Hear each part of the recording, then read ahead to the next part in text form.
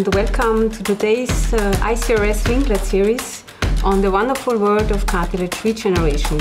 We're here with uh, a lot of experts from all over the world and we have an educational series today and we will talk about cells, signals and scaffolds and orthobiologics. My name is Silvia Nürnberger. I'm from the Medical University of Vienna and I'm here with Magali.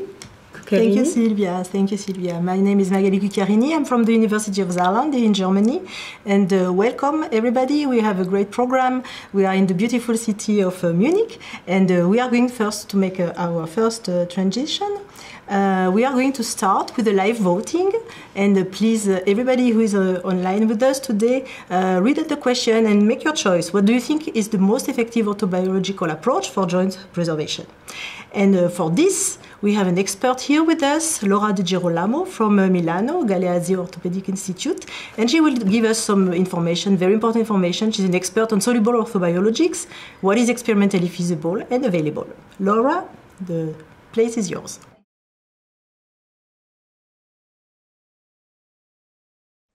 Hi everyone, it's my great pleasure to give this talk for the ICRS TIVO Series 2023 on this very interesting uh, topic, which is the uh, experimentally um, available soluble orthobiologics. My name is uh, Laura De Girolamo. I'm from Milan, from the Galeazzi Sant'Ambrogio Hospital, and I've been searching uh, uh, in regenerative medicine for 15 years. These are my disclosure. So when I was assigned this title, I thought that it would have been impossible to mention all the innovative approaches uh, in terms of soluble orthobiologics uh, in such a short time. So I decided to focus on MSCs, and in particular to their uh, main mechanism of action, which, which is their ability to release molecule, molecules that are secreted by MSCs themselves. And this is called paracrine activity because these molecules interact with the um, uh, target cells, with the cells where of the tissue where the MSCs are used. So instead of using the old cells, we could uh, use only what they secrete, which is called secretome, which is the uh, actually uh, a combo of soluble proteins and extracellular vesicles. Uh, extracellular vesicles are lipid-bound vesicles secreted by cells into the extracellular space, and they can be divided into microvesicles, exosome, and apoptotic bodies. They differ in terms of biogenesis, pathway release, uh, size, and cargo. And when we go to cargo, uh, it, it, actually uh, is the content of uh, microvesicles, and it's made of uh, lipids and proteins, but mainly by nucleic acids, and in particular by microRNA, which are small, short RNA non-coding uh, sequences of RNA. Uh, both in vitro and in vivo study uh, for joint diseases show that MSCs can have a potential in this pathology because they are able to induce the uh, chondrocyte migration and proliferation, modulate the development of cartilage, improve the synthesis of GAGs, but at the same time, they can decrease joint destruction and downregulate the concentration of um, anti-inflammatory, pro-inflammatory uh, molecules not only MSCs as extracellular vesicles, but also platelet does. So um, these two uh, studies, it has been shown that uh, um, extracellular vesicles from PRP were able to inhibit the apoptosis and the hypertrophy of chondrocyte in this model of uh, subtalar osteoarthritis, as well as very interesting that the therapeutic effect of uh, extracellular vesicle derived from PRP on osteoarthritis uh, was very similar or even better compared with those of activated PRP in vitro or in vivo. I mentioned already about microRNAs.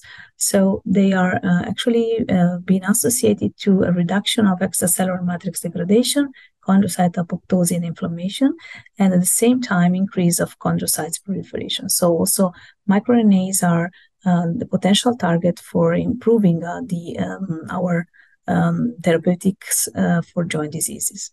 And several microRNAs have been uh, found in uh, extracellular vesicle from M- MSCs of different origin. For example, bone marrow, uh, amniotic fluids, amniotic membrane, sorry, adipose derived stem cells, but also from microfragmented adipose tissue.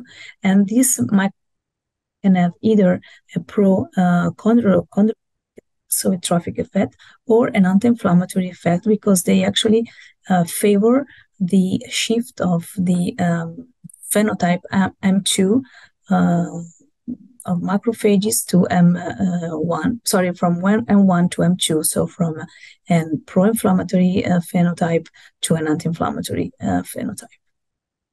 So to concluding, uh, the research on next generation soluble orthobiologics is ongoing and is very active.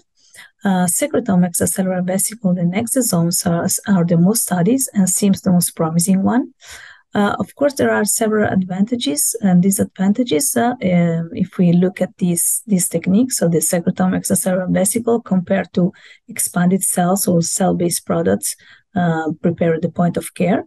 Uh, but more importantly, and this is what we are doing and what we will uh, keep doing in the future, is to focus on the efficacy of these three because at the end, what we need is something which is really effective for our patients. Thank you very much for your attention.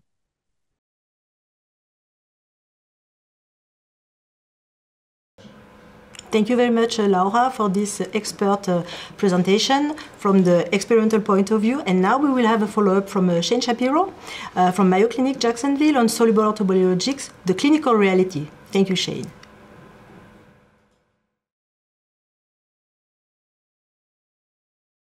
Hello there, everyone. I'm Shane Shapiro and I'm going to present injectable orthobiologics, the clinical reality in 2024. We all know that we have many options for injectable cell therapies to treat orthopedic problems. Many of these are available as same-day, same-patient procedures, and others are making their way through the pipeline as pharmaceutical manufacturers cell therapies that we're looking forward to seeing those as they reach the market. Unfortunately, the cost to bring such therapies to market is quite expensive. And for that reason, we just don't have many of those today. So currently, our autologous therapies, made from patients' own bone marrow, patients' own fat tissues, and also venous whole blood. A regenerative medicine roadmap will then include traditional surgical innovation, mixed with the novel drug discovery pathways. And if we can combine these two modalities, we have a path forward to bring new musculoskeletal treatments for conditions like arthritis and tendinopathy, when reviewing the evidence and making recommendations to our patients, we want to use the best evidence available to us. And that usually means systematic reviews and randomized control trials when available. We've had platelet-rich plasma for tendonitis for over 20 years at this point and have numerous studies available. Some of these are positive, some of them not showing a significant difference or positive effect. And Yet, when you look at the highest quality studies in a meta-analysis, you are able to combine treatments in over 1,000 patients. And you see that platelet-rich plasma to treat tendinopathies provides patients with a meaningful, clinically important difference that is supported over controls, and that can be controls as corticosteroid injections, saline injections, or even physical therapy and shockwave. Platelet-rich plasma added as an adjunct to rotator cuff surgery rotator cuff repair shows significantly decreased rates of incomplete tendon healing and also a decrease in pain levels. We know that platelet-rich plasma improves functional outcomes as well when combined with surgery. So, it's a very good option for our patients. How about for arthritis? Well, the first randomized controlled trial was published well over 10 years ago at this point. Since that time, we have 30-40 additional RCTs. Several meta-analyses exist that show platelet-rich plasma is superior to saline at almost all time points. It equals hyaluronic acid at the 6-month mark, and it's superior to hyaluronic acid at the 12-month mark. Unfortunately, however, the improvement is still only partial improvement. We have not been effective at curing osteoarthritis, only treating osteoarthritis with platelet-rich plasma, and the level of evidence is still quite low when you look at these meta-analyses. That has to do with the heterogeneity of the products that are being used to treat in the studies, and also the heterogeneity in the studies themselves. Nevertheless, platelet-rich plasma has been called on on a number of occasions at this point to be included in the standard of care for injectable therapies to treat osteoarthritis, and I think at this point certainly has been utilized that way. Does it need to be leukocyte-rich or leukocyte-poor?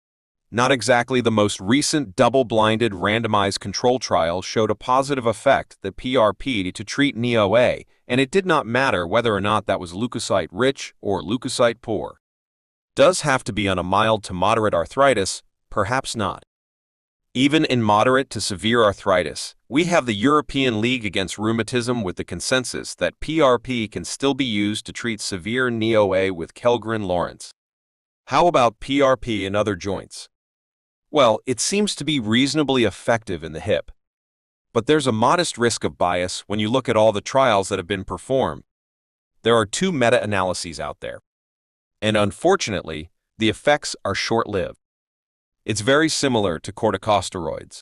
So reasonable to use PRP in hip OA, it's just not going to provide patients with much sustained relief. And then many of us may be aware that in the ankle in the Achilles tendon, and in some of the other studies, PRP did not have a significant effect, and so still debatable, and PRP certainly has its detractors. For that reason, we're on the hunt for better therapies, bone marrow aspiration, and concentration. Similar to PRP is made by density gradient centrifugation and adds very similar growth factors and cytokines that may also can contain a more cellular cocktail with immunomodulatory and anti-inflammatory properties that may make it superior to PRP. In general, BMAC has been found to be safe and can be somewhat effective as well, but unfortunately, it has not yet been shown to be superior to any other therapies that has been compared to.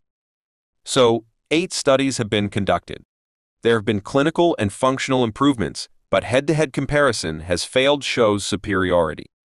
Hot off the press is the most recent comparison of cell-based therapies to corticosteroid injection, performed as a multi-center trial with 480 patients across four academic medical centers.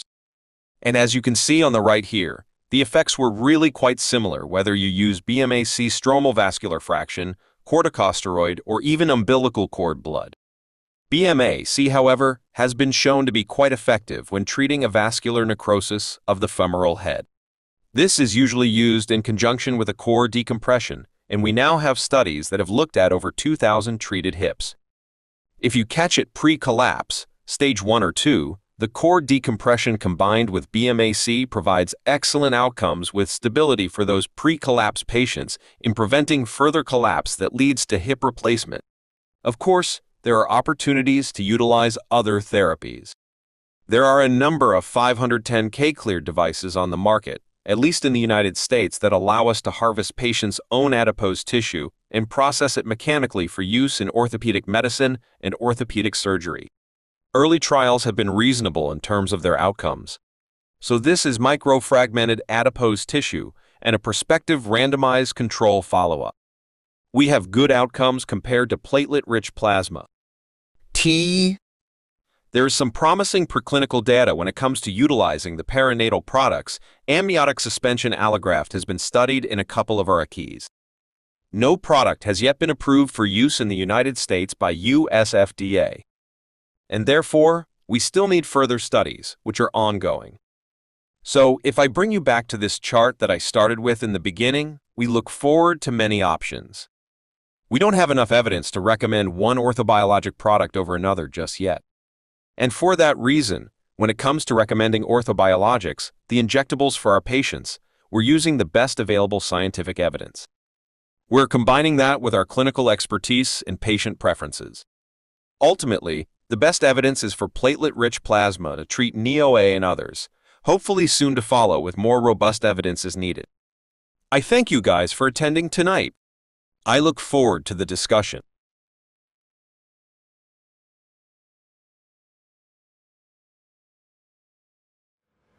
Thank you very much, uh, Shane, for this excellent presentation. And I think, Silvia, now we are going to pass to the results voting to see what our audience has answered or what is the preference about the most effective orthobiologic approach for joint preservation. And from what we see we have a large majority for whole cells secretome then and uh, followed by exosome extracellular vesicles.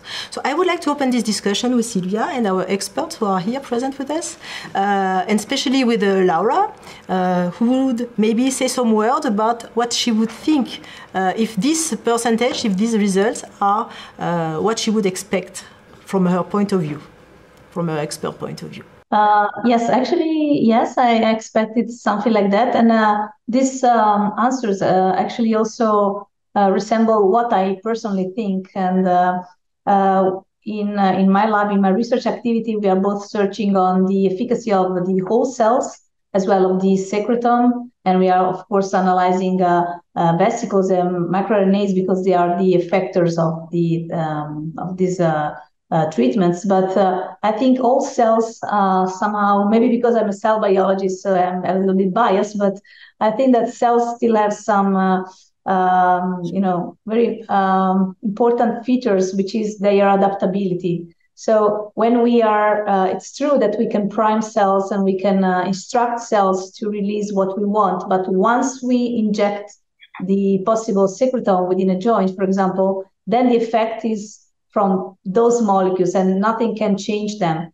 And cells mm-hmm. still actually um, possess this ability to sense the environment and to adapt to the uh, joint uh, environment. So I think this is one of the main uh, feature that would um, should make us prefer cells over other uh, cell-free approaches. But of course, uh, on the other way, on the other hand, um, cell-free approaches can be somehow, maybe in the future, not yet uh, more practical because we can have this product like an off-the-shelf product. So this is, of course, something which is very relevant for the uh, clinical practice and for the you know uh, practitioners. So Thank That's you. my, my Thank my you very much. Thank you very much, Laura. And uh, thank you. And I think also another point is the variability, and we have heard that very much. Uh, thank you. And now I think it's time to transition to the next uh, topic, which is cells. And I pass the, the word to Silvia. Yeah, we now have the next live voting. There are three questions, and uh, please make your choice for every question. And uh, we continue right away with the next expert, who is Daniel Grande from the Feinstein Institute for Medical Research uh, in New York. And he will talk about the cells and uh, what is experimentally feasible and also available.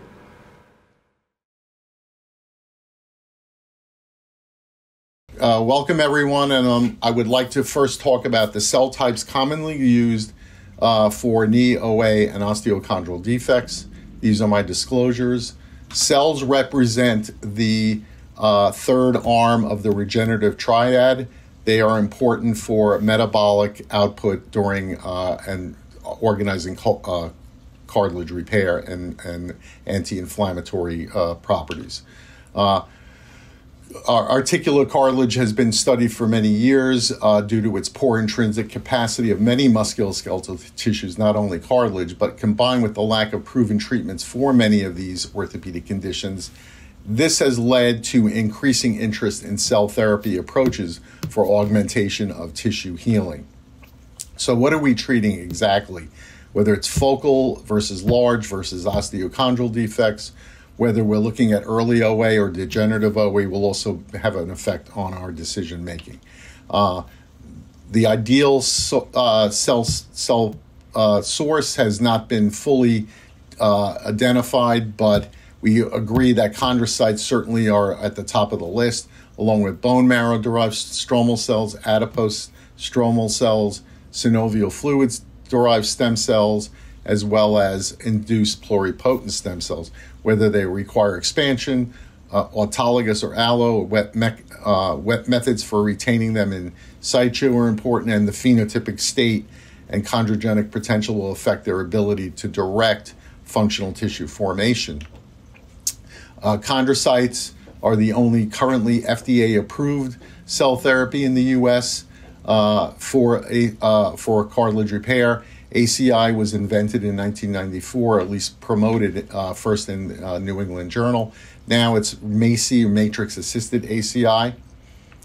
Uh, culture conditions do play a role in, con- in the cartilage phenotype that you can see here that uh, over several passages uh, they start to de-differentiate.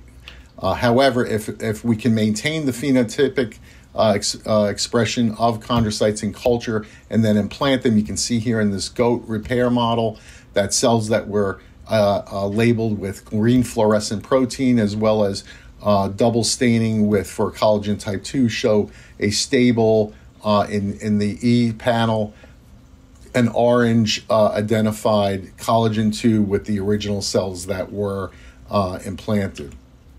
The other uh, material that we use or other cell type are bone marrow derived cells. and they're commonly used in procedures like bone marrow aspirate concentrate or BMAC.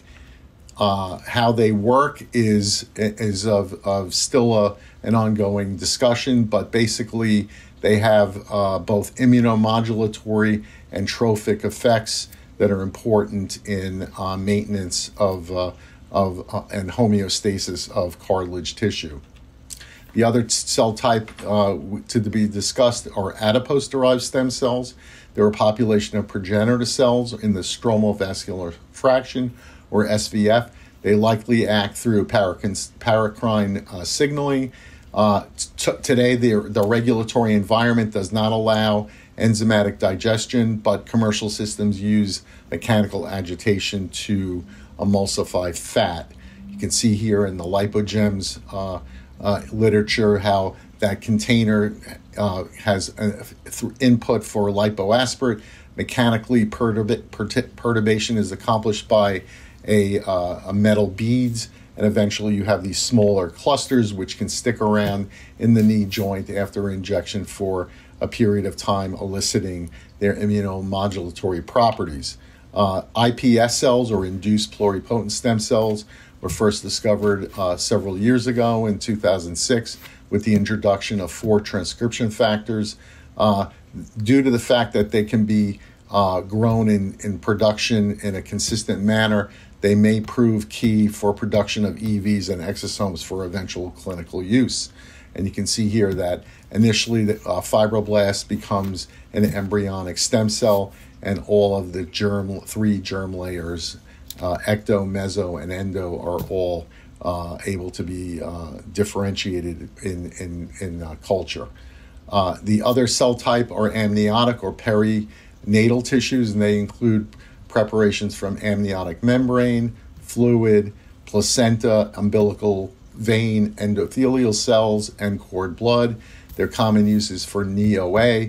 Uh, whether the cells are viable or not is not really clear. We show very little viable cells in our um, in our hands. Efficacy is likely to do the anti-inflammatory and immunomodulating uh, properties. Uh, stem cells that are derived from uh, synovial fluid represent another potential source of cells that are highly chondrogenic. Uh, allogenic sources are important because if we can have an off the shelf availability, that would be a, a significant improvement. Uh, recent bone marrow derived MSC RCTs reported positive outcomes for patients with OA even as early as this year. Uh, and clinicaltrials.gov uh, reports over 200 allogeneic RCTs that are registered, including other things like spine and rotator cuff. So, with that, I thank you for uh, your, your attention.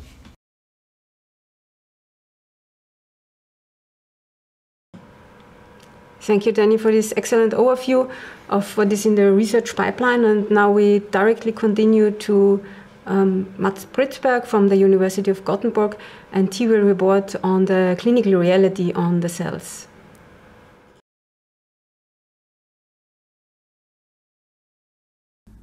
So, ladies and gentlemen, my task is to talk about the cells. Uh, and the cell is the functional basic unit of life. The word cell comes from the Latin cellula, meaning a small room described by Robert Hooke in 1665 when he looked upon cork cells and thought they looked like the room where the monks lived. It's also clear that cells are all us, and for all types of repair and tissue integration, cells are needed. And even though we talk about acellular repairs, even acellular scaffolds, when put into a defect, need an integration uh, uh, via the biomaterial immune system interaction.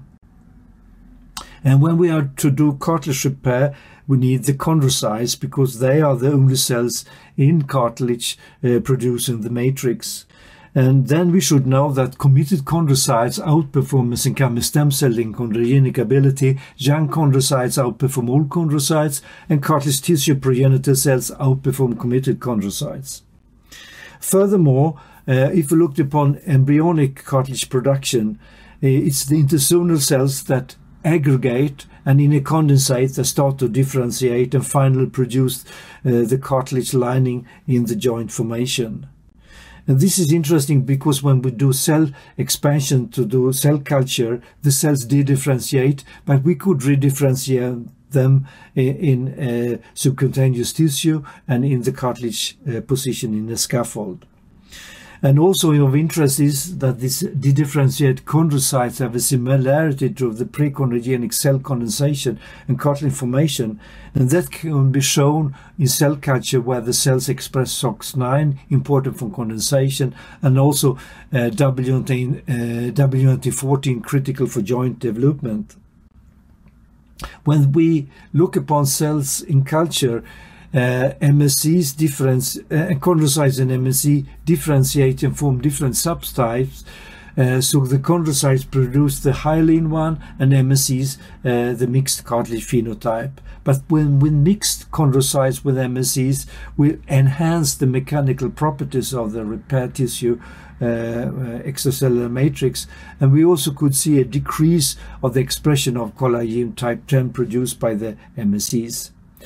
Uh, to do cell cultures uh, and to do cartilage repair in the future, we should take the cells in the different layers and try uh, to produce uh, the different layers by 3D printing. And then we should prefer allogenic juvenile chondrocyte or iPS cells because of scalability, more stable non-age dependent chondrogenic cell effect, and less costs. If we use iPS cells, we could turn them from fibroblasts into chondrocytes, but more interesting is to turn chondrocytes into an iPS cell, expand the number of cells, and then, then turn them back to chondrocytes, because then we will have more authentic and functional chondrocytes. So, cartilage repair is depending on the chondrocytes, but also on the chondrocytes' uh, collaboration and cross-talking with the surrounding cells. Uh, so in the final end, um, the chondrocytes is both the conductor and concert pianist, but requires an entire orchestra to carry out the repair to become a final lovely symphony for the joint, a true cartilage. And I thank you very much for your attention.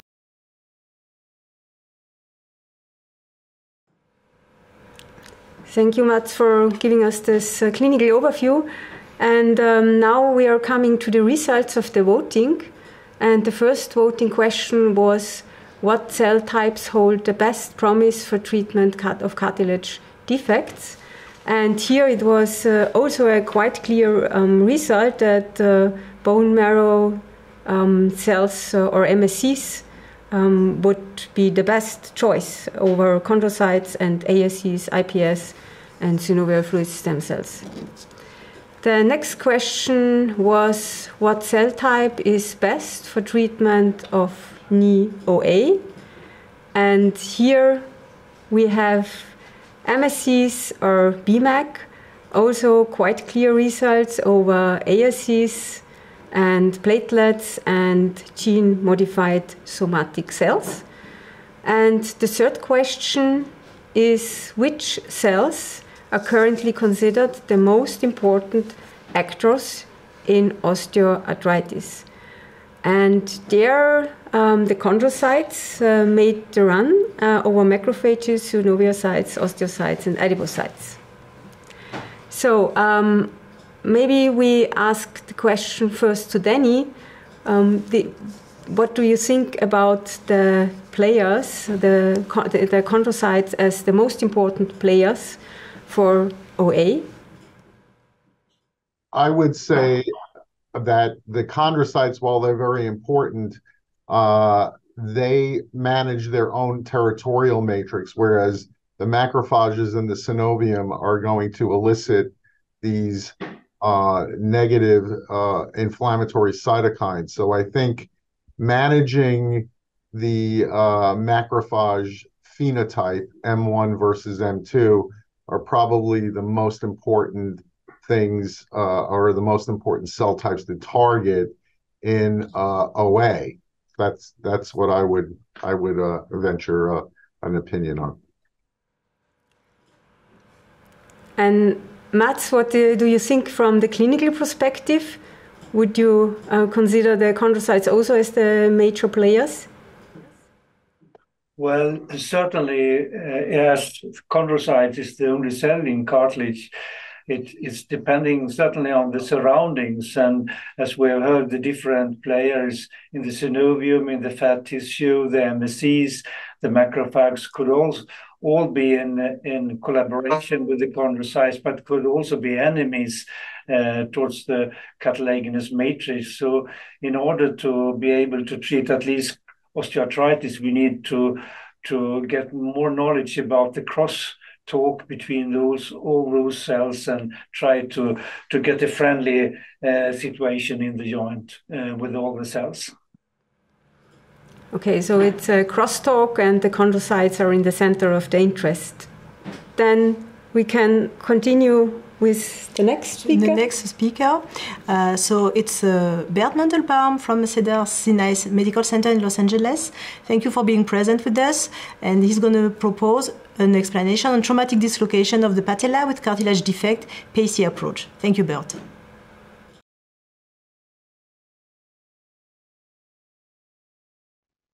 This is Bert Mandelbaum, and I'm going to be speaking over the next few minutes about treating these cartilage defects of the patella using a PACE approach. Now, we're talking about lots of different things, and this is about cells and scaffolds. And we're today going to focus on PACE, not in relationship to anything else, but PACE at this point. We want to talk about this advantage of being single versus two stage with some rationale from the perspective of animal study and then also ongoing and previous clinical experience and rationale as we know, we've seen numerous animal studies from mouse to rabbit to goat to horse that you can see sequencing in these experimental studies on particulated cartilage. Most notable is the CAIS procedure, where histologic analysis of repair tissue was done in goats at six months and horses. You can see here using the CAIS procedure, which is minced cartilage plus a scaffold uh, that was uh, biodegradable. And you can see the significant, excellent cartilage fill, and uh, as you can see in these lower photos. We know Dan Grande, who is part of this meeting, has shown experimentally in rabbits that there's high tissue viability with minced cartilage. It's highly conserved, and morsel size can be controlled by the process. In addition, we can see in comparison to empty defects histology that shows excellent aggrecan-rich regenerated cartilage at the articular surface. Furthermore, we look at collagen 2 and PCNA gene expression is markedly upregulated, as is SOX9, PRG4, and lubricin as a consequence of this. We look at clinical studies, and our study, first author Brian Cole, that we did in looking at the CAIS procedure and we found with this multi-center study some very good results in relationship to microfracture. In addition, Ramon Cugat from Barcelona has been very focused and interested in this both in animal studies, as you can see, cartilage regeneration using novel factors in sheep, as well as in humans, showing excellent results going forward. And lastly, when we look at PACE, particulated cartilage for chondral and osteochondral repair were reviewed. There's a spectrum of off authors, as we can see from the paper papers we showed you, Ramon Cugat at the bottom and Brian Cole at the top, that this is excellent uh, approach and an excellent step to doing a single stage approach using cells and scaffold from autologous cartilage. So thank you very much. It's very happy to be part of this session, and we look forward to further discussion. Thank you very much, Bert, for this excellent presentation again. And now we continue again with you on the case presentation. And uh, please explain us how your case would be, and we will see later how you would treat it and have a discussion with the expert. Thank you.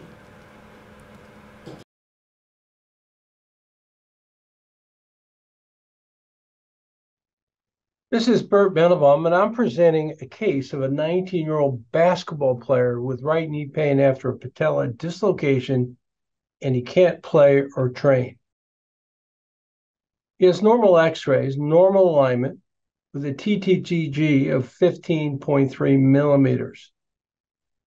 So in surgery, we found that he had this patella cartilage defect that you could see arthroscopically, and this one at the inframedial.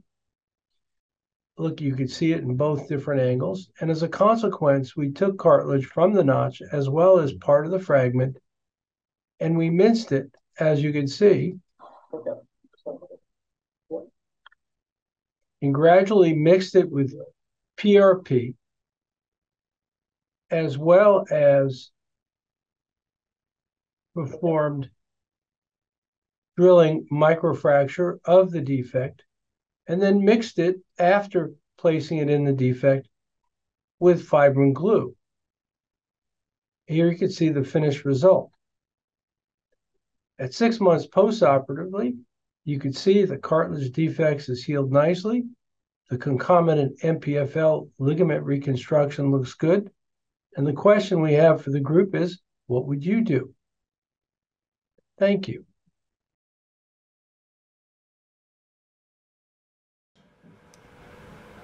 Thank you, Bert, for this uh, excellent presentation. So I would like to ask the expert, what would you do in, the, in this case, for this case, this particular case? And maybe I would like to start with Mats. Mats, would we, what would be your opinion about this particular case that Bert presented? Yes, uh, what uh, Bert presented uh, uh with this minced cartilage is, is a very good alternative today. Uh, it was quite a large defect, but he managed to, to get enough of, of minced cartilage to fill it up and uh, together with fibrin glue and he also used PRP. So I think this is an option today. It's, it's an interesting alternative and also the possibility that you could use minced cartilage from juvenile uh, donors, which means that you will have a good quality. And even if you have a large defect and you don't have enough of autologous uh, minced cartilage, you could mix minced autologous cartilage with juvenile cartilage, and that will boost the effect. So this is certainly an interesting alternative for this type of lesions. Thank you, Mats. I see Henning also. Maybe Henning, you would like to add your expert opinion about this case. How would you treat it? What would you do? So first of all, hello to everybody. It's good to see you, even though not live. Um, well, I think the number one treatment option, uh, in my opinion, would be an uh, a, a matrix-associated chondrocyte implantation, as the defect is so large. But as this is not available everywhere, I, I would agree in making a particulated uh, uh, cartilage procedure because I think that you need uh, some kind, some type of chondrocytes uh, to cover such a large lesion and to, to tell the MSCs that somehow will migrate into that lesion that they should differentiate into chondrocytes. Thank you, Henning. Silvia, I think you wanted also to add a question or point. Yeah, I have um, a question to um, Danny um, about uh, the ASCs or more for the fat derivatives for the stromal vascular fractions. Um, since it's a heterogeneous populations of cells inside the stromal vascular fraction, um, what do you think is the function of the other cells um, to the regeneration process? So the um, um, endothelial cells, macrophages, and so on. You asked me that, correct? Yes. Yes. So uh, the adipose-derived stem cells, I think the primary function in vivo is anti-inflammatory uh, and immunomodulatory. So um, yeah, so I would consider that as the primary function. I would also suggest, or although I'm not a clinician, why not uh, Bert and and Matt's uh, why not incorporate BMAC as well as the minced cartilage in such a defect to kind of jumpstart that, or even lipoaspirate combined with minced cartilage? Maybe you can comment on that. I would be a little afraid uh, uh, mixing the, the bone marrow cells there because then, you know, a, a problem in, in cartilage repair is ingrowth of bone uh, so then uh, your cartilage repair area will be thinner and thinner, and the patient will start their pain. So bone marrow uh, cells or BMAC in the in an osteochondral defect in the con, in the bony area, the Mills cartilage in the cartilaginous area, but not mix them. You know, Dan, I, I have been impressed with the work of uh, Rita Kandel, um, who really has shown the upregulation, uh, target expression of uh, ACAN and collagen 2, as well as improvement in mechanical properties in her cartilage uh, model. Know, one of the reasons in response to Henning, um, his comments was in our in our country we, we've had difficulty getting uh, MACI approved, and um, what's happened to us is that we've had a number of cases that we didn't get approved, and we went on to do this minced cartilage technique uh, autologously. And in following our patients, we found that they were doing better when we were using advanced MRI techniques. The cartilage repair looked better than the MACI techniques that we saw previously. So, a single stage procedure, less expense, and in reality, morphologically on MRI and also on our scores, we're performing better than the matrix associated procedures. So I think we have something here. And I think it's evolving, and uh, we need to continue to develop larger numbers at, at this going forward. That's uh, that's that's very interesting um, what you just said, and I believe uh, that there is uh, some some some strong evidence from from animal study for the for the minced uh, cartilage techniques. Um, I think, and this is something that we could discuss uh, where the future will be, whether we will, uh, whether whether healthcare systems will still be al allowing themselves to uh, to isolate chondrocytes.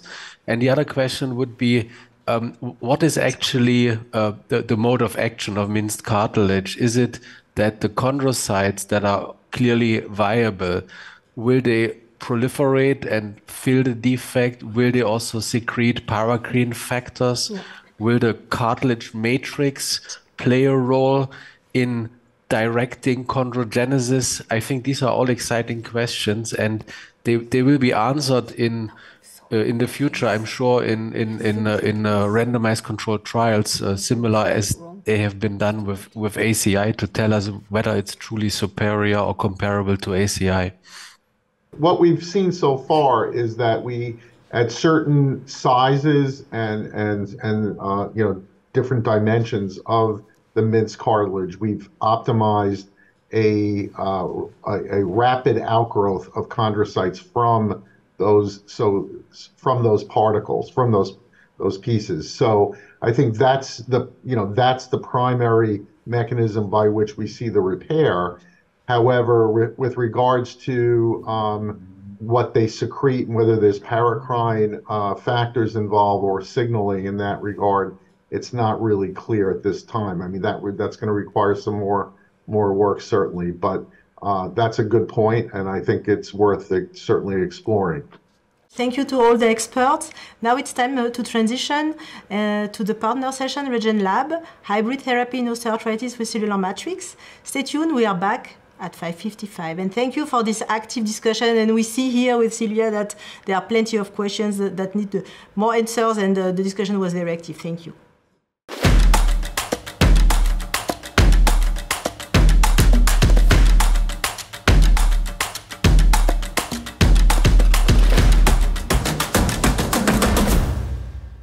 Welcome back for the second part of our wonderful world of cartilage regeneration and joint preservation. We start again with a, a new uh, row of questions. I think it's going to appear very soon, live voting for the new topic, which is this time scaffold. So please, uh, everybody online, check and uh, cross from A to E, promoting scaffold concept for cartilage regeneration are in the research pipeline. Which of the following properties matters the most to you? Please answer. And uh, we transition now with uh, Marcus Mumme from the University Children's Hospital in Basel, who's going to present a clinical translation in cartilage repair using combined scaffold and cell-based functional cartilage tissue. Please, the podium, the virtual podium is yours.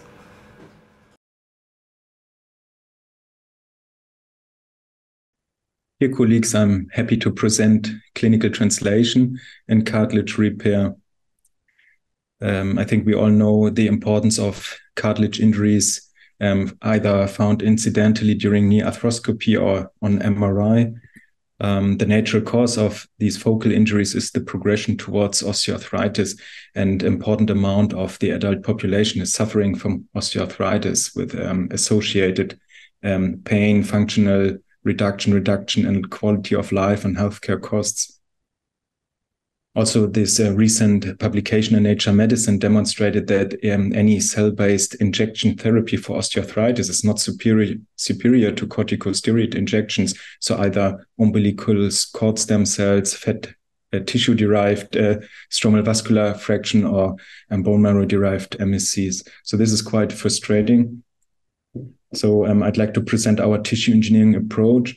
We take a biopsy from the nasal septum cartilage, which is also hyaline cartilage. We um, isolate the cells um, and expand them, and then these cells are seeded on our um, scaffold, a collagen scaffold, Chondro-Gide.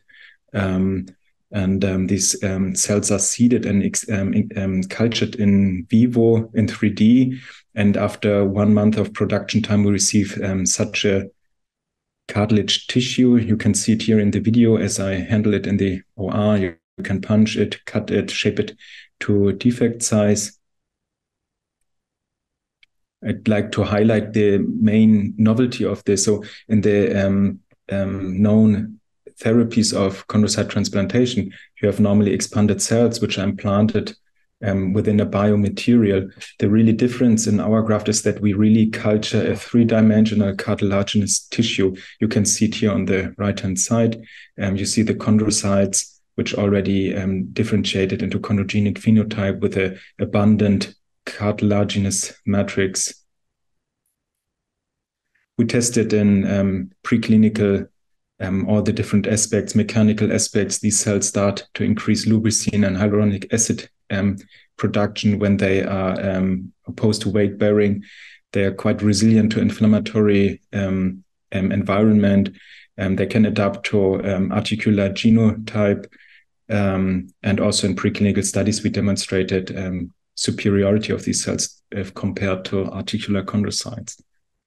We also performed phase one study demonstrating the safety of this approach and now stopped um, or finalized the phase two study demonstrating superiority of a premature cartilaginous tissue if compared to implanting the nasal chondrocyte just as cells on a membrane. And um, even um, for revision surgeries, we've seen um, important clinical benefit for the patients with an improvement in the Q scores of almost 40 points, which is quite um, promising. We're now going to more challenging indications. Um, here mentioned the patellofemoral osteoarthritis, which is an important subtype of um, knee osteoarthritis. And the main problem is the biomechanical problems, but also the um, standard kissing lesions of um, this disease. So we see we we are um, challenged with um, cartilage damage on the kneecap and on the trochlea of the femur. I'd like to show um, um, intraoperative photos from the first surgeries here, you see the important cartilage damage and you see the implanted graft. Here you see the preoperative MRI with the severe cartilage damage and bone marrow edema. And uh, one year postoperatively, you see nicely regenerated cartilage behind the kneecap and the bone marrow edema count fully down.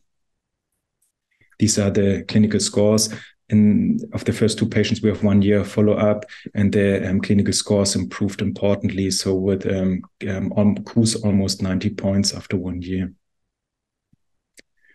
Based on this, we um, are starting randomized multi-center trials um, across Europe and um, to test this um, treatment approach towards standard comparator like PRP injections or patellofemoral osteoarthritis. I'd like to summarize um, the um, nasal cartilage approach is feasible and we demonstrated preliminary efficacy. We're now going into phase two randomized multicenter trials to um, prove um, the efficacy um, if um, compared to standard comparators, and in the future, ad addition with osteochondral scaffold will even give us more opportunities to treat osteoarthritis. Thank you for your attention.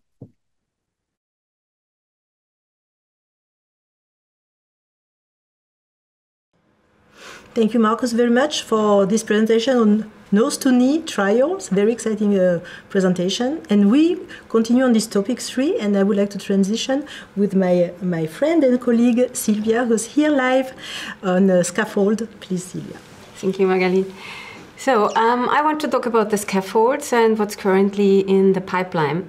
So scaffolds are biomaterials which have the minimal requirement of distributing the cells in the defect, but they should also guide, protect, and stimulate them. What's currently used in clinics um, are still mainly the materials which have been used also at the beginning of the century or uh, similar versions of that, even though in uh, more different types of settings, also with other cells. So we know, though, from these very first studies that um, over long term we cannot completely avoid osteoarthritis, but just uh, prolong the onset. So the biomaterials uh, that uh, have been used and that are on the market are mainly fleeces, sponges, hydrogels, and um, also newer scaffolds have the same principle, but there are also new concepts like coral blocks or uh, multi-layered biomaterials. So we do not know so far um, if they um, lead to a better outcome, but uh, in the meantime, we need to think if we somehow can improve uh, the biomaterials with other concepts. And so we have to remind ourselves about the principle of uh, cartilage, which is uh, the, um, the fine structure, the composition, and its high load-bearing capacity. And what we now need to improve is uh, the quality of the material and to make really uh, um, almost hyaline cartilage, a hyaline cartilage with the appropriate architecture of the collagen. To achieve that, there are a lot of different strategies out for de novo generation of uh, scaffold materials like bioprinting, electrospinning, or, or um, casting methods. But there are also very pragmatic uh, methods of using um, cartilage itself um, as a kind of uh, recycled waste material. For the de novo strategies, there are a lot of different uh, um, concepts uh, of fibers um, and webs and so on. And I want to highlight two particularly, which is uh, this one, where small chambers were generated uh, and spheroids were implanted. And uh, here it could be shown that the small chambers um, uh, um, serve as a guidance for the, the position of the new matrix. So there, there is already a physiological alignment of the collagen, at least in some parts. And another study uses cartilage from different origin and uh, articular cartilage uh, sponges led to chondrogenicity, and growth plate cartilage um, sponges led to osteogenicity. And this already shows that the, the cartilage matrix has a very high potential. And um, therefore, we thought that uh, why not uh, using cartilage uh, itself as a material, decellularize it, and make it more porous for recellularization. And this is what we have done with laser strategies. And what we saw that uh, in these laser incisions, uh, the newly formed material also had the physiologically appropriate alignment of the collagen fibrils, and it served uh, as a good environment for chondrogenicity because what you see here uh, is the differentiation of elderly chondrocytes without any addition of growth factors. Another strategy was to remove elastic fibers of auricular cartilage and uh, use these uh, remaining channels uh, to let the cells grow in. And uh, also here inside the channels, there was a good differentiation and also the alignment of collagen fibres in the physiologically right direction. Yeah, and we do not know if we found the holy grail yet, grail yet because uh, we need to wait uh, for long-term um, clinical studies to answer these questions. But in principle, there are strategies uh, like de novo generation of uh, scaffold material or recycling material, the endogenous uh, synthesis of newly formed matrix or the implantation of uh, a bunch of matrix. Or there is also the question if one fits all applies, or if we have to individualize it to the um, location of the defect and also to the patient. Thank you. Thank you very much, Silvia, for this uh, nice overview on a very important topic, broad, that everybody here is interested in, also in the audience. Now let's look at the results of the voting. Uh, promising scaffold concept for cartilage regeneration. Well, first, with a large majority, both structure and composition need to be optimized and optimal. Growth factors are required, structure of the scaffold is essential.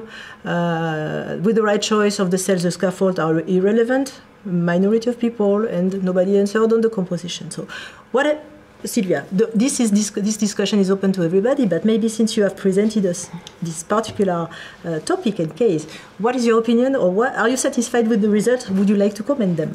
Yes, I'm satisfied with the results uh, because um, um, these uh, are the arguments uh, for the strategy to mm. use really cartilage itself uh, as a biomaterial. And um, this is a, a, bit the disadvantage of the existing materials because they're uh, very soft. They're frequently on, on, on, on non collagen, um, not cartilage, hyaline mm-hmm. cartilage components. Mm-hmm. And um, they also do not have the appropriate structure, which we consider is very important because they guide the matrix deposition of the mm-hmm. cells, and only like that uh, finally appropriate uh, matrix, and this is the main part of the cartilage, can develop. And um, this is maybe the, the, the, the, the answer for better long-term stability of the material. Mm-hmm. Thank you. I would like to ask Daniel also to reach out to you, Daniel. What is your opinion? What do you think of the results? And what uh, Silvia just answered to us? Uh, I I agree with her. I think that that's exactly what we should be hoping for or looking for in our our matrices. Uh, I I agree with her 100%. I could also, if you don't mind, if I could ask Marcus about his talk. Um, the the is um, the cartilage from the nasal septum exactly the same as cartilage from or, or the chondrocytes the same as uh, in the knee or, or the hip for that matter? And uh, ha- and what's the advantage of using that over obtaining uh, cartilage from the knee for your your studies? Other than is it primarily uh, due to um, the fact that you don't want to you know rob Peter to pay Paul kind of situation? Uh, can you comment on that if you don't mind? Thank you, Daniel. This question. This is a good question. Nasal septal cartilage is also a hyaline cartilage so it's um, historic entity. Of course, it's not exactly the same. So we even see differences between ankle, shoulder, and elbow cartilage. So th th there is um, already a difference. But in our studies, we've seen that the cartilage can adapt to the um, articular environment. It can adapt to the um, surroundings. Uh, I would like uh, maybe to ask a question. Can Kenneth uh, Zaslav, I see you are here. Would you like to comment on that also from a clinical point of view?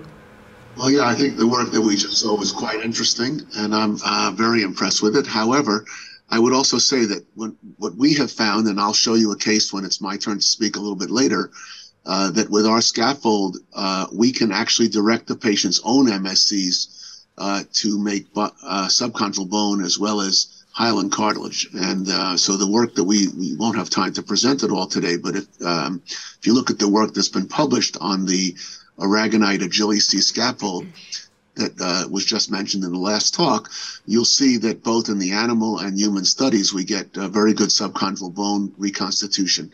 It turns out that aragonite, which is sea coral, is very similar uh, on the under the electron microscope to bone. It's got the same porosity, which allows vascularization and ingrowth of MSCs. And on the top third of this scaffold, they've drilled very small holes of a certain diameter that have been shown by several researchers, both in Pittsburgh as well as in Israel, to um, when you take human MSCs and put them in a tube of that diameter, we get uh, we push the cells along the chondrogenic line. So uh, we have found that the scaffold itself can stimulate the body's own repair mechanism, and I think you'll see on the case that we present that it's been um, uh, quite pleasing uh, clinically as well as uh, scientifically.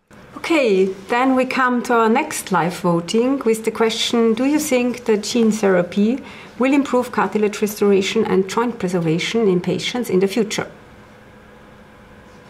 So make your choice.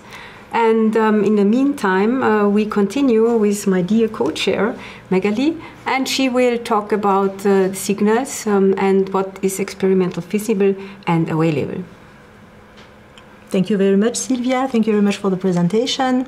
What we would try to do with signals is to try actually to find an easy way, which is maybe an utopia, uh, to have a, a, a therapy you might not see it very close from here, but what we call signals is what you would see in the syringe, which would be an effective, durable, and safe approach to repair focal defects that could evolve toward osteoarthritic uh, lesions.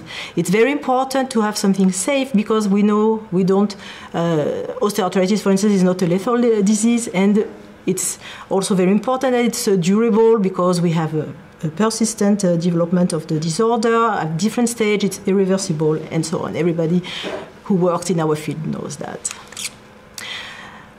There are different ways of uh, providing a signal to, uh, to a, a, cartilage defect, a lesion. Uh, the easiest and maybe the pioneering work was using uh, recombinant factors. They were available, they were produced uh, very simply, but we have all to keep in, uh, into, in mind that these signals are from a recombinant form, most of the time proteins, they can be growth factors, they can be other kind of, of uh, molecules.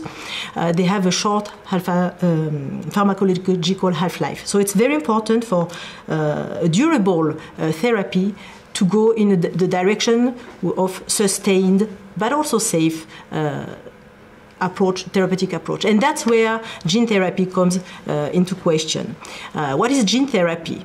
Uh, it enters a lot of decades of work. We had up and downs in the field. We have several people uh, worldwide working in, with this approach. It's the transfer of therapeutic genetic sequences to treat human disorders, in particular for the cartilage. And it can be gene marking, correction, augmentation, etc.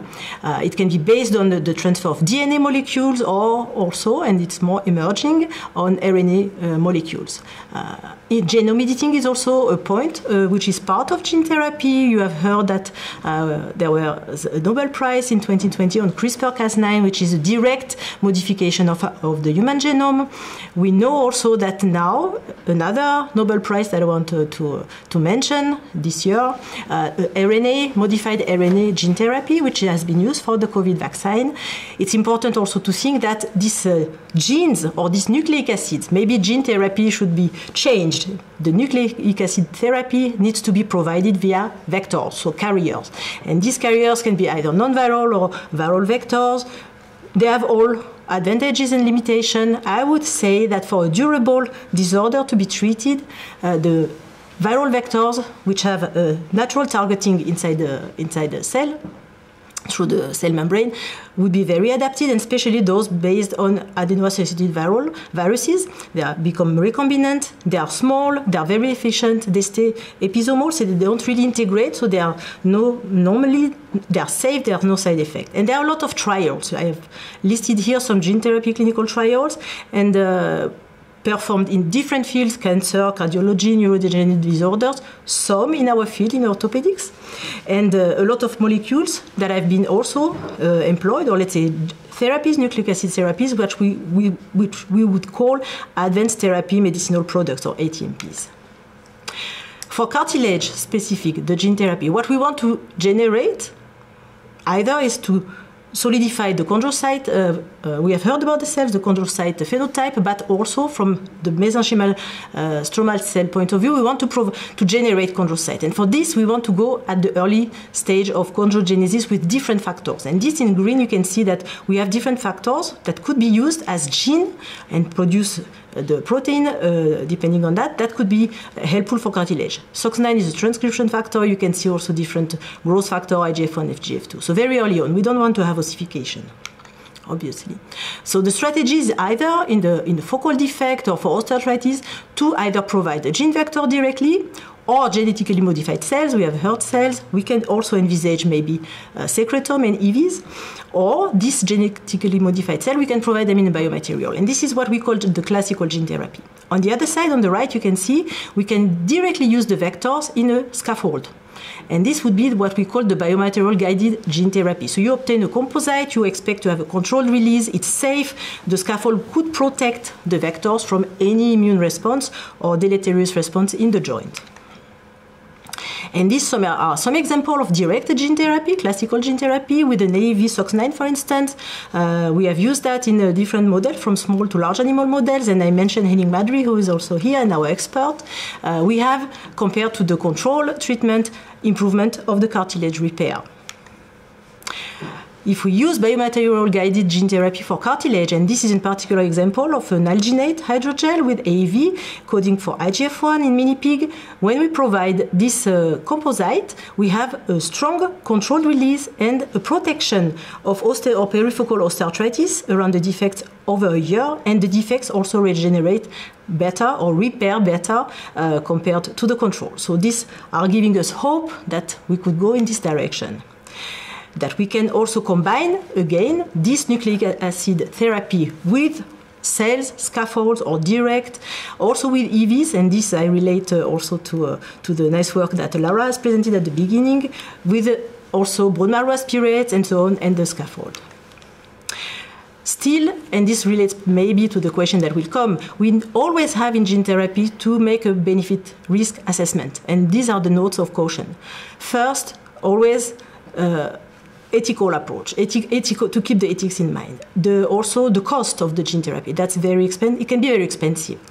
Uh, some uh, products have been re removed from the market. But we on the, on the other side, we see that the COVID mRNA uh, vaccine, is a, it's also a gene therapy, has been used for the world population.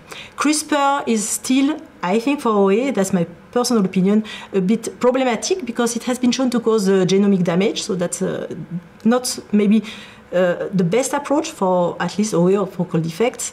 And uh, we need to keep all that in mind uh, to bring this experimental work inside the clinic.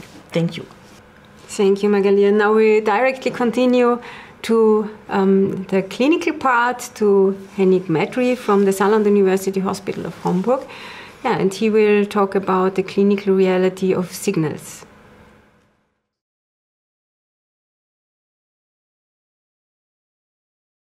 Hello, everybody. Uh, I'm very glad to present a part of the clinical reality for the signal molecules.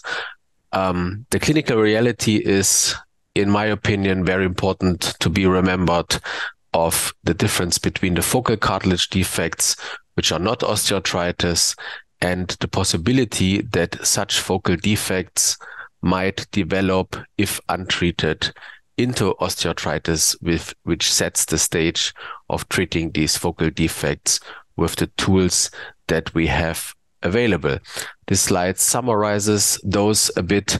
Um, the major points here are to use marrow stimulation for the smaller defects, chondrocyte implantation for the larger defects, and other different techniques, including the use of scaffolds as indicated. Growth factors have been identified and used in animal models as therapeutic signals for articular cartilage repair since about more than 40 years. Um, and these ex initial experiments date back to the year 1980 using fibroblast growth factor 2.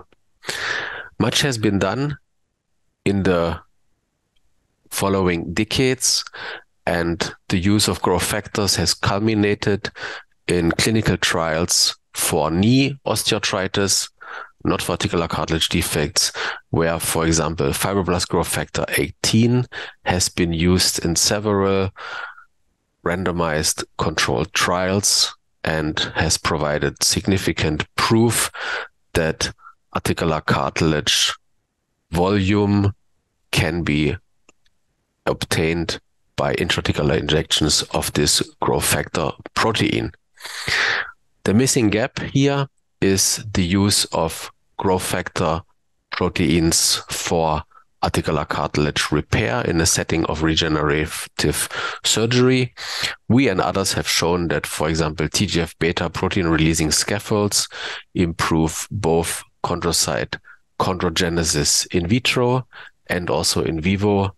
And approach that we have used in vivo was to add that in a subchondral location with a scaffold which releases such molecules. And we can show in, artic- in large animal models that this is also beneficial for cartilage repair. FGF18 has been also used in several translational models, ovine, equine, together with microfracture, for example, and as intra-articular injection and collagen membrane-based approaches. And histological cartilage repair has been also improved compared to the negative control. The missing gap here, unfortunately, is that there are no clinical data available yet for using growth factor proteins for knee cartilage repair. To conclude, signaling approaches are most likely complementing established techniques in the future. We have promising results in vitro and from preclinical models of knee cartilage defects. We have also promising results of clinical trials in the context of knee osteoarthritis. What is needed in the future is a signaling strategy that is off the shelf, affordable, safe, and of superior efficacy than existing reconstructive therapies that we use at the moment. Thank you very much for your kind attention.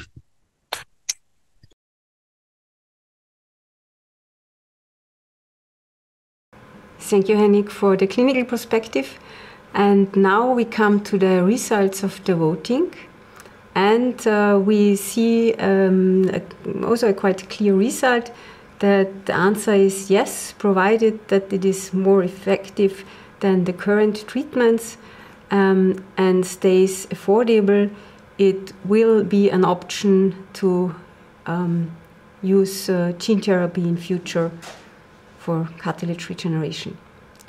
So, Magali, are you glad? I am.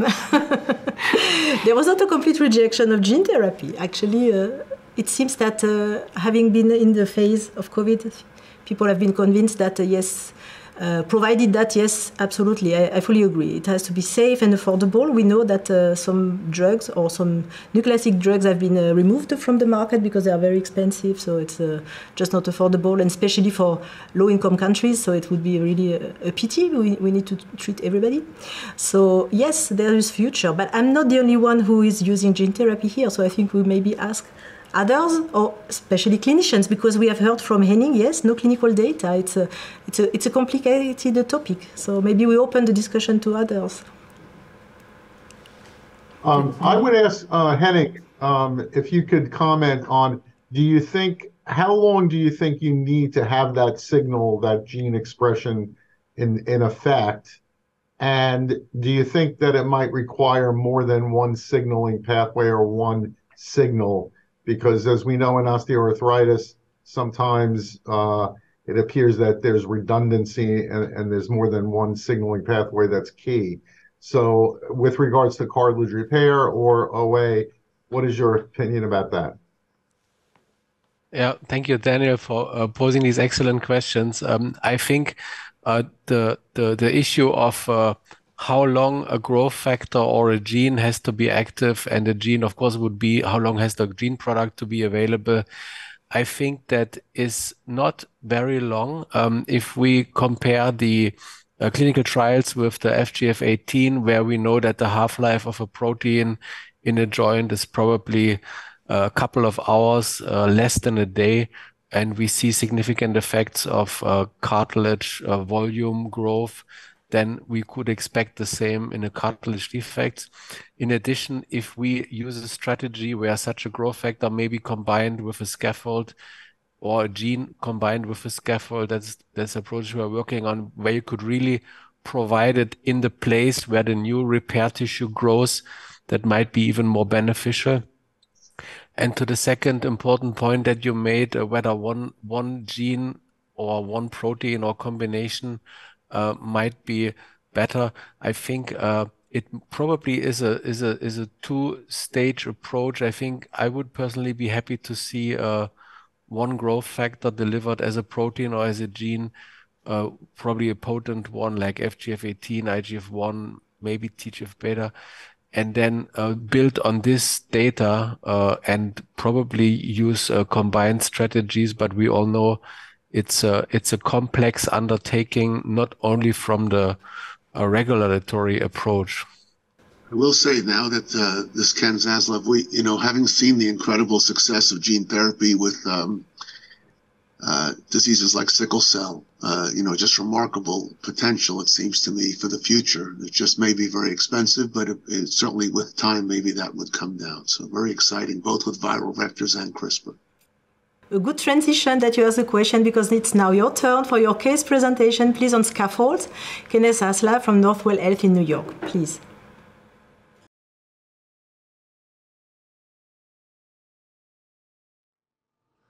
Hi, this is Ken Zaslav, and I'll be presenting the next case here on the Winglet presentation. I'm from Lenox Hill Hospital Northwell Orthopedics in New York, New York. This is a 50 year old male who has a BMI of 28. He presented with pain, stiffness, and occasional effusions for several years. He had failed cortisone as well as HA injections, as well as physical therapy for over four months. On his x-rays, which you'll see in a moment, he had only KL2 changes, uh, but um, uh, no major joint narrowing. He had two large lesions, uh, one on the trochlea, approximately six square centimeters, and a smaller one on the medial femoral condyle, 1.5 square centimeters. He also had a degenerative inner third medial meniscus tear. Here's the x-ray on the far left and the MRI on the right. Uh, and you can see his lateral joint is in pretty good shape. Uh, but more importantly, here are the uh, arthroscopic views, both the large trochlear lesion taking up um, a large percent of the trochlea, and then a small, well-centered uh, uh, medial condyle lesion.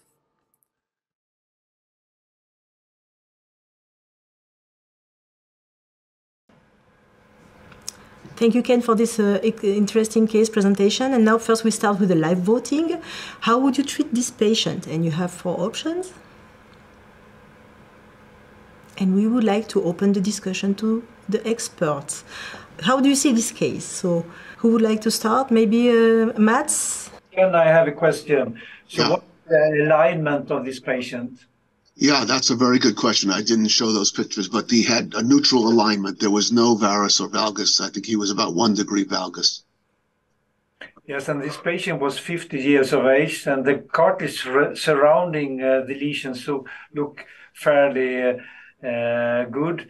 So in this occasion, before at least for the large lesion, I would consider like a MACI.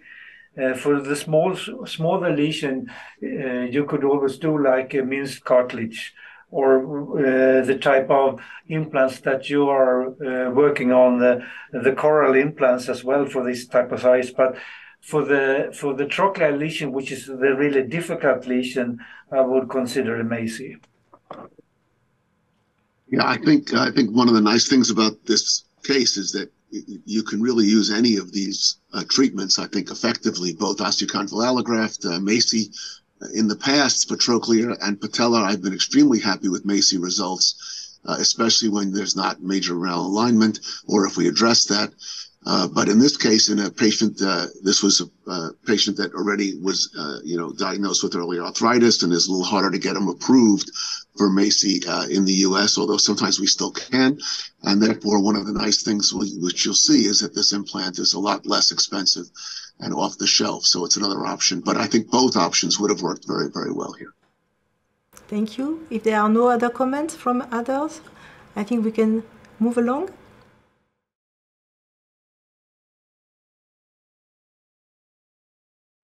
So here's the intraoperative photos of what we did. We utilized what you see on the far right. It's an Agili-C biphasic plug made of aragonite or coral. The bottom phase is the bone phase, which is the natural porosity of the coral, and the top phase has very small drill holes of a very specific diameter that stimulate MSCs to turn into chondroblasts. You can see the picture on the far left is the trochlear lesion, and underneath that, the medial condyle lesion. You'll see the plugs. They're recessed approximately one to two millimeters below the cartilage line at the level uh, of the subchondral plate. Uh, and you'll also notice something very different than other procedures we do. These never get mastercarded or snowman. They never touch each other because then you'll get joint fluid in between, which will uh, cause a destruction of the uh, implant. Instead, we want bone touching the implant all the way around.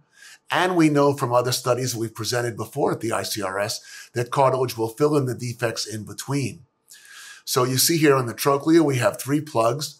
touching the articular cartilage on the outskirts, but not, and touching bone everywhere else. And we have a central single uh, medial femoral condyle implant in the medial femoral condyle.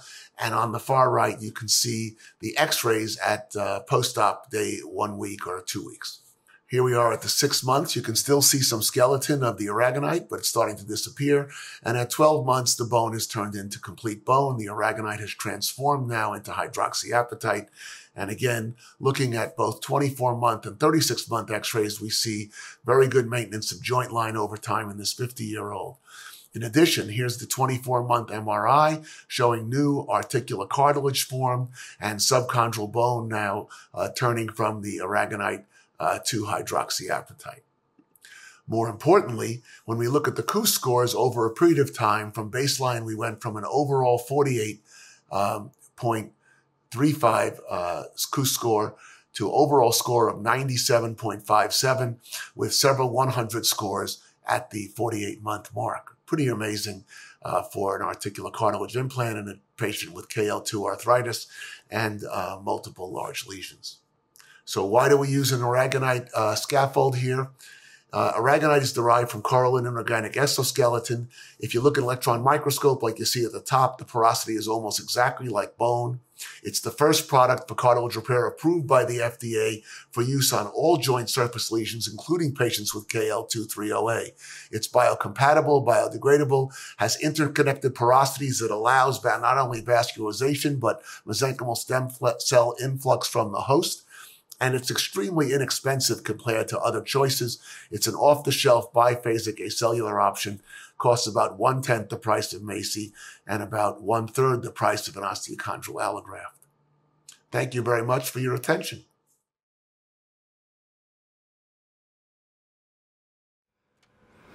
Thank okay. you very much, Ken. So we are at the results voting. How would you treat this patient on your side?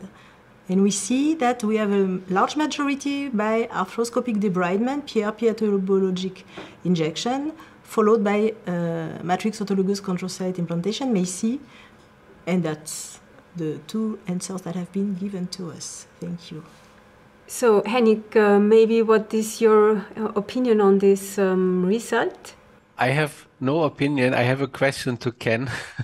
yes. um, so um, it looks like the results are very good, and I wanted to ask you, uh, what do do you think there could be, uh, or let's say like this: if we make a microfracture, then we have we have drill we have holes of and they they will eventually uh, being uh, filled up by bone, right? So we have no more uh, cells they could migrate. Do you think that the scaffold could somehow allow a better migration of the cells from the subchondral bone into the defect to explain the good results? I think they do, and we have two good studies, you know, that were done. We couldn't present it all today, obviously, but uh, Susan Chubinskaya showed us very clearly uh, in a study where we she took explants of patients who had uh, just died and donated their articular surface of their knee or their ankle, and she cut a donut hole in that cartilage. And we put these implants in in some and we put nothing in between. And very quickly we saw by day 70 actual migration of cells from this disconnected cartilage. So now this is dead cartilage but it's being kept alive in a in a, in a uh, cold storage and the cells will migrate into this acellular implant and not only migrate but have been proven to make type 2 collagen and matrix so um, we, we see that the that's why we can put these implants not touching each other and they will fill in the defect because the cartilage seems to migrate. And yes, I do believe that that the um, porosity of the aragonite allows the MSCs to come up from the subchondral surface. So we get cartilage cells that migrate from the periphery, from the cartilage around it, and we get MSCs that come up and turn into cartilage. And what was very nice is in the early goat studies, every one of the um, uh, implants, sorry, every one of the histologies was done by an independent lab called NAMSA in Europe. And the independent lab called all of these uh, hyaline cartilage with good subchondral bone and a normal tide mark. So we, we saw some quite remarkable histology, and then that was mimicked in our first two human cases, which we did histology, and the rest we just did MRIs. So there has been a prospective randomized trial of over 250 patients uh, to get the FDA approval, and the, we had very, very uh, high group of uh, good results, almost 88 to 90 percent. We are unfortunately a bit short in time, so probably we, we need to meet again to address more questions and get more answers. But we would like to take some um, some questions from the audience, and one was about the scaffold. Let me see. What and thank you for everybody who was uh, asking us uh, on the on the post. What would be the next strategy for designing scaffold for cartilage defects? Although having the same mechanical properties with the na with native cartilage is hard. Yeah, so I, I think that Sylvia touched upon this quite nicely. I think scaffold, you know, one of the things that we see in a lot of cartilage repair papers or, or, or reports is that we never see that true cyto architecture of the collagen, the Benninghoff arcades, for instance, and ways to anchor that. And I think that with uh, some of the um, the electrospinning combined with 3D bioprinting, I think we can make a more uh, robust and more uh, biomimetic approach to uh, a scaffold that would re- that would be more uh, in line with what we would want. That's still the holy grail, as she mentioned, or you mentioned. I'm not sure with regards to scaffold. So I think that's imp- very important. There was another question about uh, um, biomaterials, about the uh, regulatory issues um, and uh, of allogenic cartilage and um, uh, this uh, is a little bit country dependent, I think.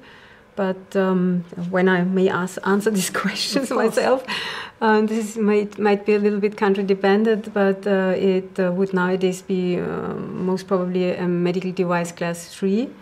Um, yeah, but um, it, there are a lot of allogenic materials on the market, and um, it should be feasible. There's another question, I think it's just one minute ago, so I think it's really related to what we just heard. Aragonite source is a big issue. The company, the company that uh, did this, there was some very interesting findings. First of all, it turns out we're not using the live coral. We're using the exoskeleton of the dead coral. So as it, it ceases to flower anymore and it's just an exoskeleton, that's what we're using and that's all we need. So there, there has not been a difficulty in the sourcing. We have at least already stored away. The company that started this in Israel has just recently been bought by an American company, but the Israeli group have stored probably enough coral for uh, probably the next decade already. Uh, so there's plenty of plenty of these implants. It turns out from a head of coral, you can make almost a thousand of these small one centimeter implants. So uh, it's inexpensive and, and uh, accessible at this time without having any negative effect on the existing sea, flowering sea coral. Okay, uh, to wrap up uh, our excellent session today, um, we can say that uh, we think that cells are still more important than their secretome or PRP or to treat osteoarthritis. That for us, treatment of osteoarthritis it is uh, especially important uh, to understand more the crosstalk between the cells. Uh, that AutoCART um, is well accepted, even though not completely understood.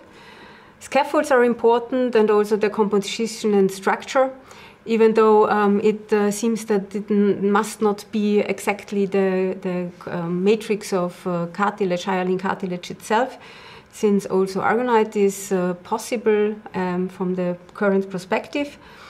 Gene therapy seems to be more and more well accepted, um, but needs to be also further understood, and uh, the same is also the case uh, for the growth factors. Thank you very much for this uh, takeaway message, which is really wrapping what we have heard today on a very broad topic. So, we would like uh, finally to say also an announcement bonus program by the ON Foundation, the scientific partner today. ON Stage Talk How Biomaterials Take Regenerative Cells to the Wound by John Davies. And we thank you again all for being here maybe some words of conclusion also. It was a pleasure to be here. We thank also the studio, all the persons here, and all the experts. Thank you for staying with us. And stay tuned for more exciting uh, episodes, probably from the upcoming uh, ICRS, The Wonderful World. Thank you.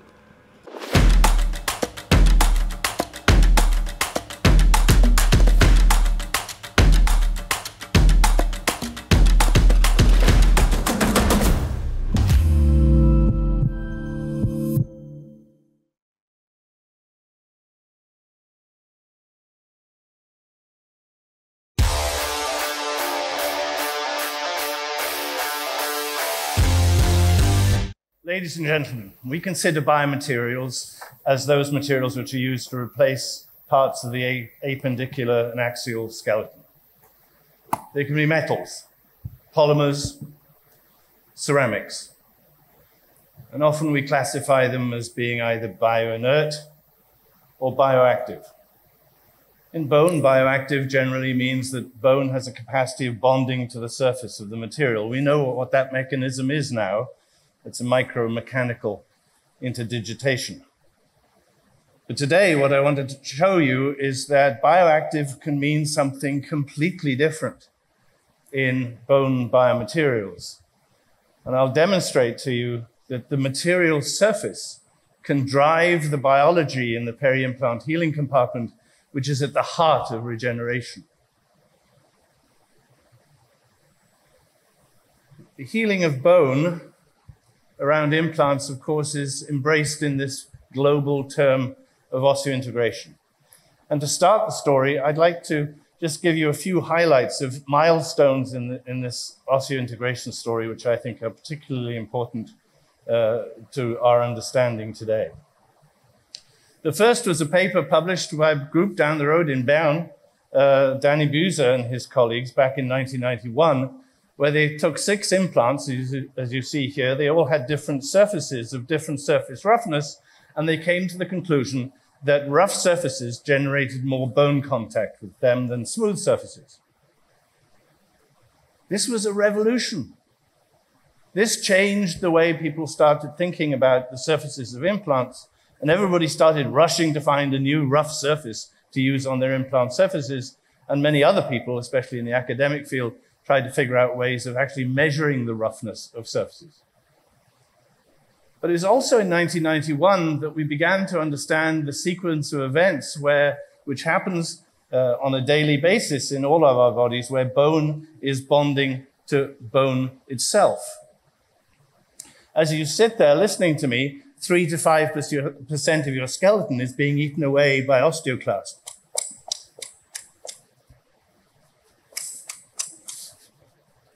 But fortunately for most of us, me included, I hope, is that 3 to 5% of our skeleton is being laid down by osteoblasts.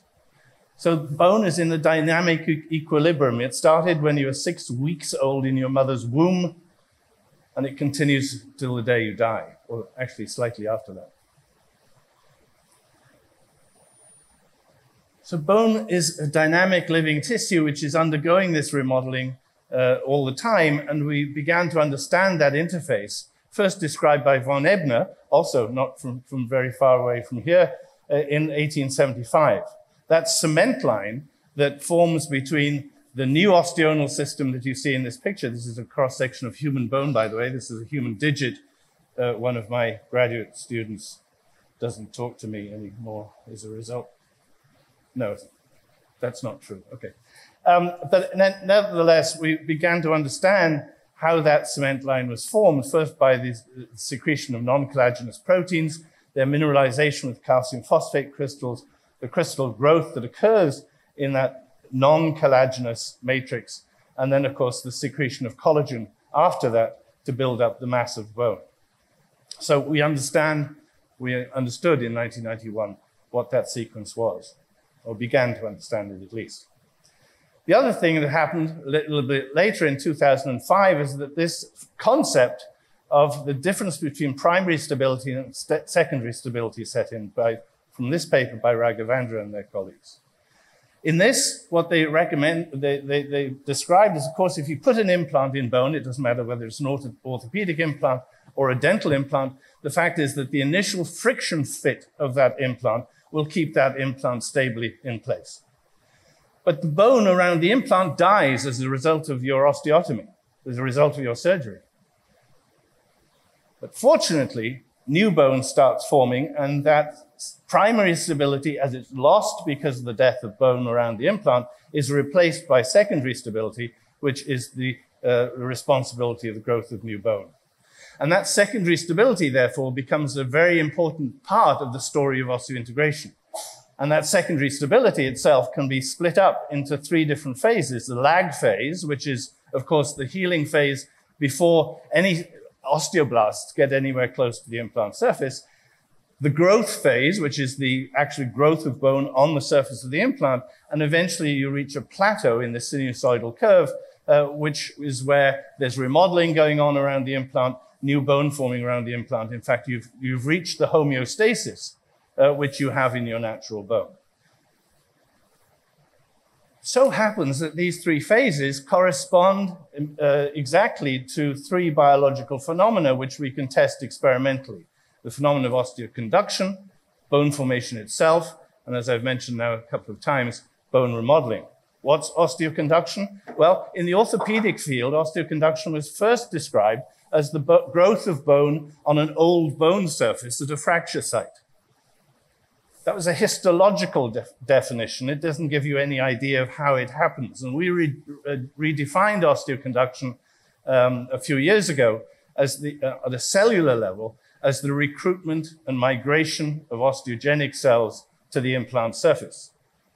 And by the way, it could be the implant surface, but it could be the old bone surface happening right now in your body at one of those remodeling sites.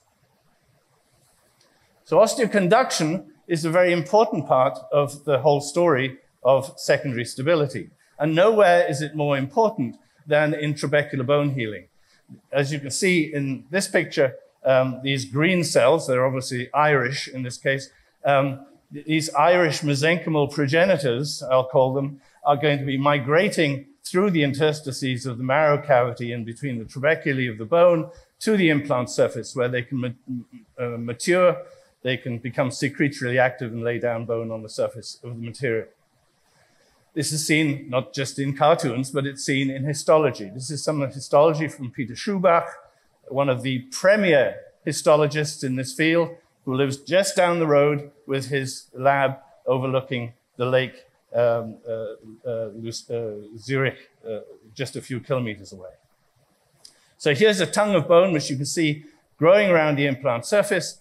And at his uh, blow up magnification picture here, you can see that that's the, the growth of the bone on the surface is happening because those cells are actually coming to the surface of the implant in advance of the tongue of bone. And those cells we know come from a, a perivascular origin. So you've got blood vessels in the wound site and you've got perivascular cells, and they uh, migrate to the surface of the implant uh, following platelet activation. So here they are, they're migrating away from the implant, uh, the, the vascular surface down to the implant surface. And you see as a result, they're becoming uh, uh, polarized, secretorily active on the implant surface, laying down bone, and you get a seam of bone apparently spreading over the surface of the material only because of the continued migration and recruitment of these cells to the implant surface. So this process of contact osteogenesis relies on osteoconduction, but it begs the question, well, where do they come from? I've told you they're perivascular cells, but why? And why do the vessels come into the wound itself? And all of that biology is happening in that lag phase that I told you about.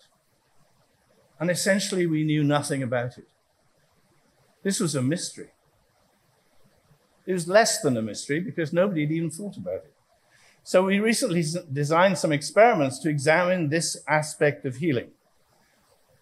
And what you see here, this cruciate implant, which is only four millimeters in diameter, is small enough to put in a, the skull of a mouse. So we create an, uh, an osteotomy with a trephine, four millimeter trephine in the skull of a mouse. We can place this implant, and there you see it placed in the skull of a mouse.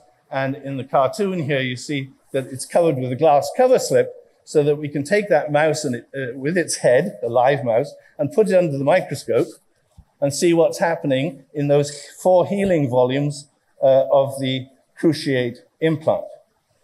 And then we can take the mouse back to its cage and leave it there for a couple of days, and then take it back to the microscope again and look at it and look at exactly the same healing volume in the same mouse and see what's changed. Now, in this experiment, and I want this is the important part. In this experiment, the only variable is the surface of the implant. The implants are titanium, commercially pure titanium, standard stuff. And either one is machined, as you see here, or the other one has a nanostructured surface. So one is relatively smooth, and one is really quite complex at the nanoscale. Now, we'd never done this before, and we'd never used these implants before, and we'd never used this cranial window model before. So we had to first find out whether the model was working, and we'd expect bone to be growing on a nanosurface more effectively than a machine surface. We know that there's a distinction between distance and, osteo- uh, and contact osteogenesis, and on a nanosurface, we'd expect to see contact osteogenesis. On a machine surface, we'd expect to see distance osteogenesis, and that's exactly what happened.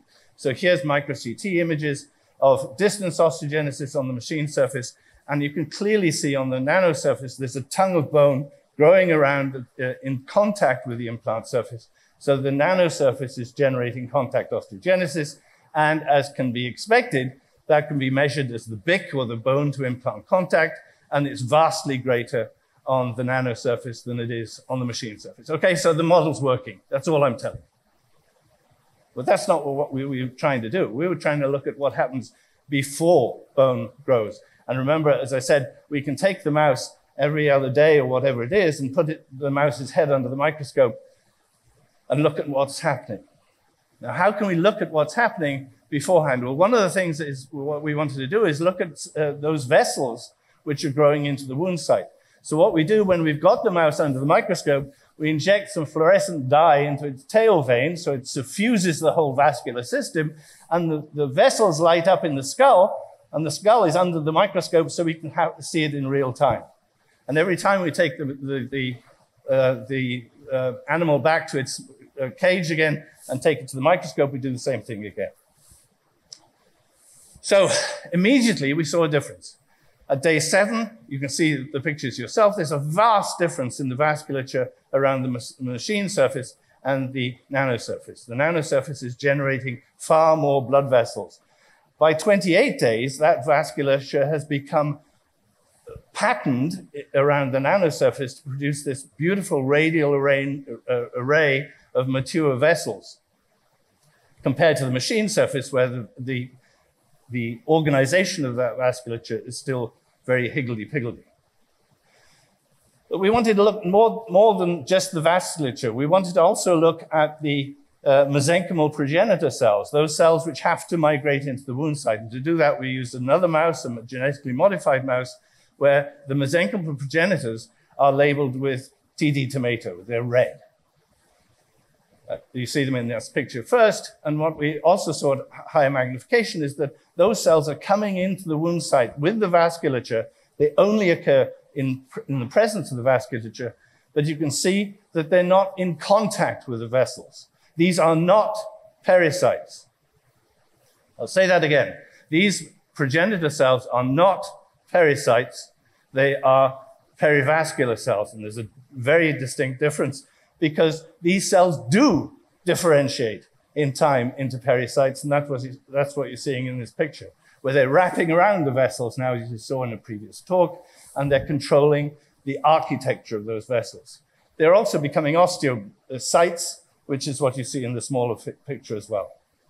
But to finish off, the fascinating observation that we made in this work was that those mesenchymal progenitors not only come into the wound site with the vasculature, but there is a proliferative bloom of these cells during the early phase of healing.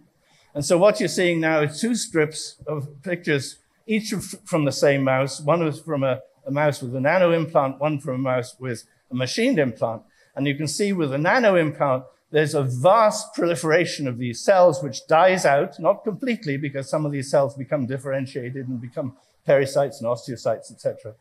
But during healing, there's that bloom of uh, proliferation.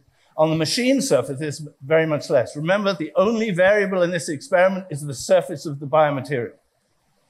So the surface of the biomaterial is driving this essential biology, allowing this wound to heal. But I'll leave you with one question. Why the bloom? Why, is, why are these cells re seemingly redundant? Well, we know that during uh, immediately after surgery, there's an acute inflammatory response. We know that during that time of inflammation, phagocytic, phagocytic macrophages are really important. But in time, if everything goes well, they translate into reparative macrophages or M2 type macrophages. It may be, this is hypothesis, it may be that these cells are creating this bloom because they're changing the environment to allow that transition from acute inflammation to repar reparative tissue um, in that normal healing process. And of course, we have to ask, does this happen in everybody? Does it happen in healthy individuals? Now we have a model to look at it. And so this gives us new targets to look at the biology, very early biology of peri-implant healing, which will enable us to design new surfaces which are much more efficient than the ones we've got today. Thanks very much.